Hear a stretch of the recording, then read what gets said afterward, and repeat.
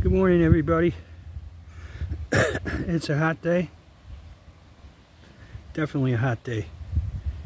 Um, and uh, what you're looking at is a Mak-Newt that was made by Intes.